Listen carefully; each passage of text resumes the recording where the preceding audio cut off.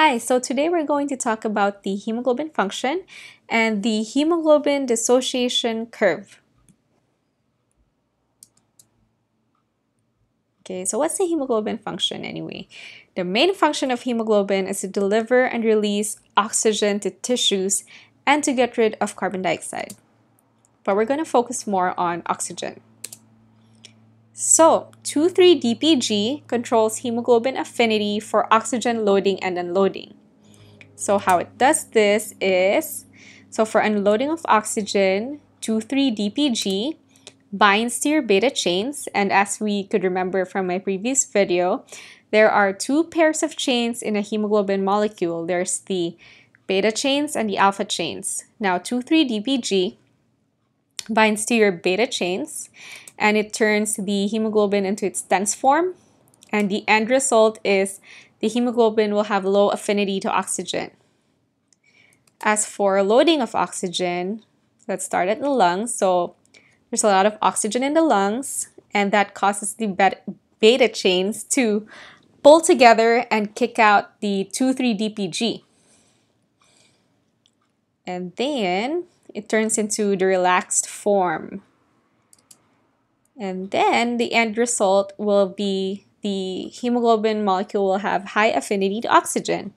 So these are just for sake of imagery. That's not how your heme looks like. So for tense form, I chose this because it looks like it's, you know, it's tense. There's no space. And um, for this one, it's more spacious. It's more relaxed. That's why I chose these images. But that's not what hemoglobin looks like. Just to clarify. And so this is how I would think this whole process is like. So when 2,3-DPG binds to your beta chains, um, it gives away the oxygen.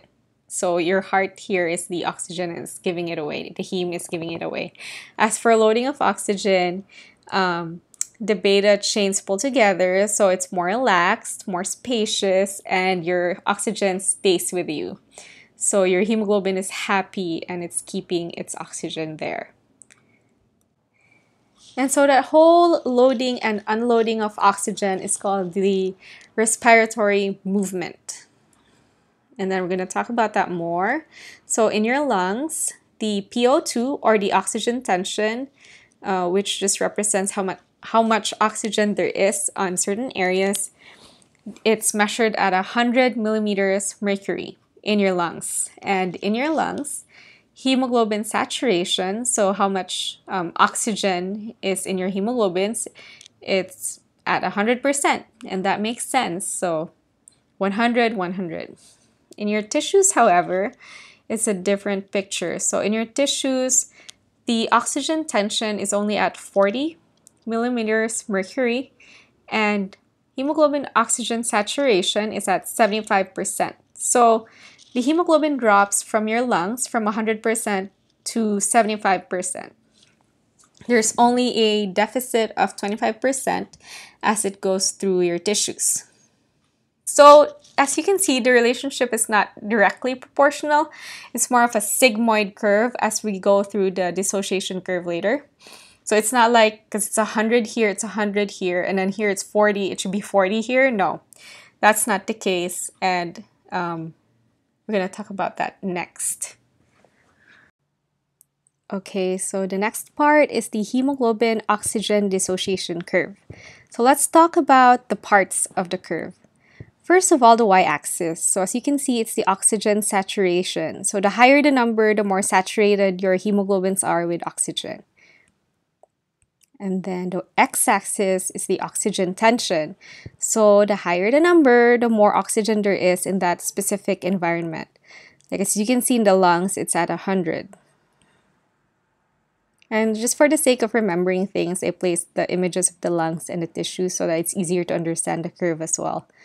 So P50, this is the oxygen tension when hemoglobin is 50% saturated. Normal P50 is at 26 to 30 millimeters mercury. So this is where the oxygen tension is when your hemoglobins are 50% saturated with oxygen. So it's around this number. So again, oxygen tension in tissues are at 40. So I placed the image here and As you can see, these three dots represent the important parts of the curve. So at this point, um, we're talking about the release of oxygen. So from the very top, oxygen saturation is 100%. That's in your lungs. That makes sense, right? So that's what that dot is. It's at 100. Um, and then when your hemoglobin molecules travel to the tissues, it drops off 25% of the oxygen. So in the tissues, there's only 75% oxygen saturation, and you have lost 25% from when you came from your lungs. And that's that. That's that dot. And then lastly, the P50 right there. So this is the oxygen tension when saturation is at 50%. And that's it. That's the hemoglobin oxygen dissociation curve. So now let's talk about left and right shifting. Okay, so we're going to talk about right shifting first. So right shifting, as you can see, the oxygen saturation actually stays the same, uh, but the oxygen tension increases um, if you look at the dots. So at 50%, oxygen tension actually increased to like around higher than 30 um, originally. But we're going to talk about the causes of why it's shifting. So there's anemia, hypoxia, increased temperature, low pH or acidosis in the tissues. And basically, this happens when you want to give oxygen to your tissues right away. So it's like you want to get rid of oxygen right away. So this goes back to the previous slide that talks about 2,3-DPG. And that's um, with the presence of 2,3-DPG, beta chains shifts the heme molecule into the tense form and releases oxygen. So your body starts to produce a lot of this 2,3-DPG and that's how it's able to release oxygen readily to the tissues, um, even with a higher oxygen tension. So like here, before um, on your tissues at 40 millimeters mercury, uh, that's when oxygen gets released, right? But now, even at a higher, maybe this is like at 45 or 50, it's able to do that. And that's because it increases the 2 3 DPG on your hemoglobin molecules. So, it does that like in anemic cases where patients don't have enough red blood cells, but they still want to be able to oxygenate their body the body adjusts, okay? The body adjusts to be able to still give oxygen to the tissues despite the lesser amount of hemoglobin in the body. How it does that is that it increases the production of 2,3-DPG. And that's how we're able to release oxygen easier. And that's that for anemic. And the same goes for hypoxia, for increased temperature, low pH because in acidic conditions, if your tissues become like acidic, if you're working out and you know, there's lactic acid, there's acidosis, you are able to balance the pH by releasing oxygen more readily to the tissues. Basically, you know, when it right shifts, it's giving away oxygen easier. And so the effect of this is P50 increases. Remember, P50 is the oxygen tension when hemoglobin is 50% saturated. So here, P50 was only at around 26 to 30. And on a right shift, it is now at like, I don't know, 35, 36. The point is it increased. So it's actually an effect of right shifting. So we're going to talk about left shifting now. So what does that mean? That means you're not giving away your oxygen readily because it's complete opposite from the one earlier. So what's the causes of left shifting?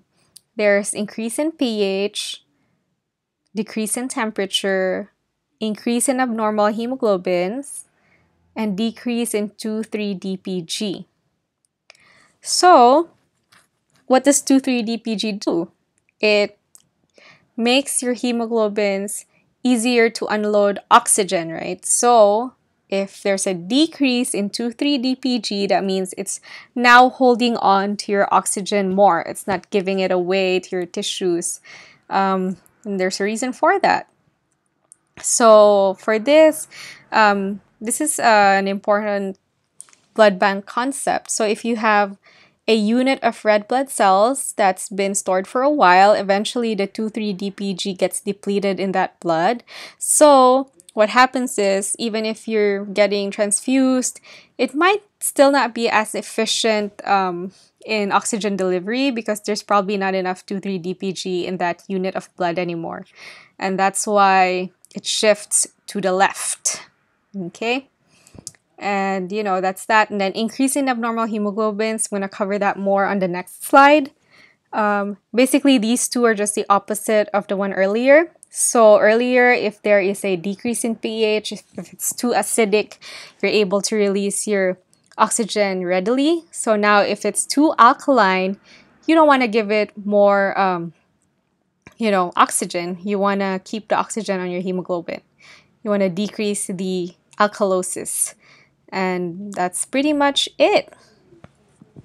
So the effect of left shifting is your P50 value decreases. So before P50 was around 26 to 30 normally on baseline, but after the adjustment of left shifting, it decreases. It decreases down to probably 25, 24. Point is, the effect of left shifting is that P50 decreases too. So next slide, we're going to talk about abnormal hemoglobins and why your curve shifts to the left. So let's talk about carboxyhemoglobin first. So carboxyhemoglobin is when carbon monoxide attaches to your hemoglobin molecule instead of an oxygen molecule, okay? So it kind of looks like that, so a CO into your heme. Now that's a problem because when carbon monoxide attaches to your hemoglobin, it attaches too strong, like it's super glued to it. So it's not able to let it go once that thing is on there. And so what happens is you're not able to oxygenate your body because carbon monoxide is poisoning you. That's why we have carbon monoxide alarms and all that because pretty much you're just drowning. You don't have oxygen anymore because carbon monoxide is attaching to your hemoglobin. So that's carboxyhemoglobin. Next is methemoglobin. This is when your ferric iron is present on the heme group instead of the ferrous iron, which is also a problem because ferric iron creates a strong bond with the heme group. And then sulfhemoglobin is when there's too much sulfur in your blood, body, you're ingesting sulfur containing drugs, or chronic constipation. That increases sulfur in your body as well. So this is a problem as well because sulfhemoglobin actually deforms the hemoglobin molecule. Deforms, okay? So it's an irreversible, uh, what do you call this? Irreversible event. It's not able to carry oxygen anymore after that until the RBC is removed from the circulation.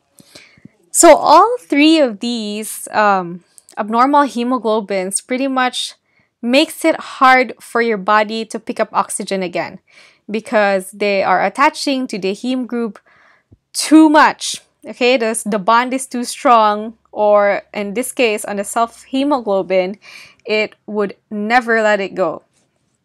So that's why your, what do you call this? Your P50 actually shifts to the left. Your curve shifts to the left because of abnormal hemoglobins because your body is not letting go anymore. Once it's attaching to these abnormal hemoglobins, it's not letting go. So your P50 decreases. Your, your oxygen unloading is not effective anymore because you're getting occupied with abnormal hemoglobins. So your curve left shifts. Okay, remember when the curve shifts left, it's not letting go. When it's shifting to the right, it wants things, it's easy to let go. Oxygen is getting released. And so that ends it. That ends my presentation today.